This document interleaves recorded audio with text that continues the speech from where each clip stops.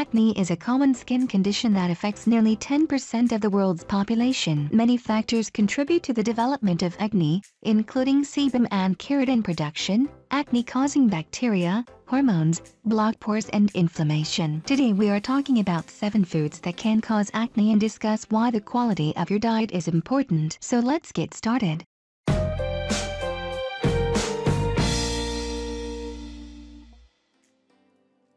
Number 1.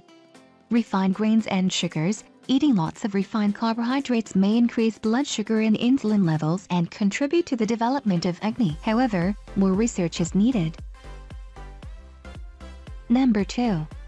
Dairy products. Frequently consuming dairy products is linked to increased acne severity, but it is uncertain whether there is a cause and effect relationship. Number 3. Fast food. Regularly eating fast food has been correlated with an increased risk of developing acne, but it is not clear whether it causes acne. Number 4. Foods rich in omega-6 fats. Diets rich in omega-6 fatty acids and low in omega-3s are pro-inflammatory and may worsen acne, though more research is needed. Number 5. Chocolate. Emerging research supports a link between eating chocolate and developing acne, but the reasons why and strength of the relationship remain unclear. Number 6.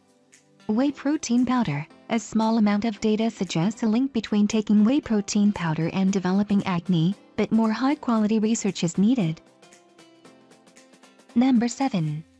Foods you're sensitive to. Food sensitivity reactions can increase the amount of inflammation in the body, which theoretically may worsen acne. However, no studies to date have been conducted on the topic. So this is for today. Thanks for watching. Drop a like, leave a comment, and don't forget to hit the subscribe button. Thank you!